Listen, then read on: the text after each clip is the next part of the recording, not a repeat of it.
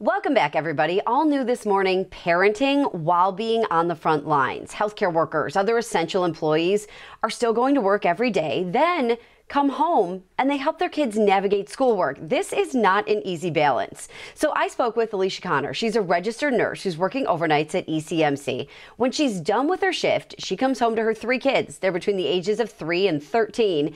Then on top of working that difficult overnight schedule, she's trying to get schoolwork done with her kids.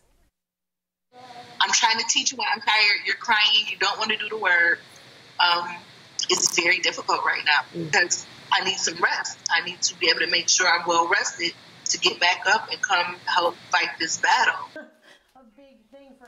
And many parents are feeling this exact same struggle. So, EPIC, which is a local group that helps with parenting support, has launched a hotline where you can go for help. The group says this is a really stressful time for parents, and it's important to understand what works for your family. And also, they say, cut yourself some slack.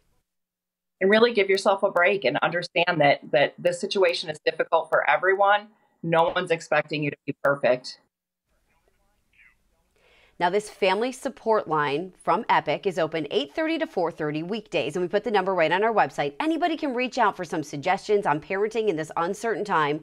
Also, creating a routine that works for you and your family. That's what Elisa did. And tonight, you're going to hear how she found this schedule that works for her family. And she's also got some advice for other moms and dads. I've got that up on the website, and you're going to hear more about that later tonight on 7 Eyewitness News at 5 and 6.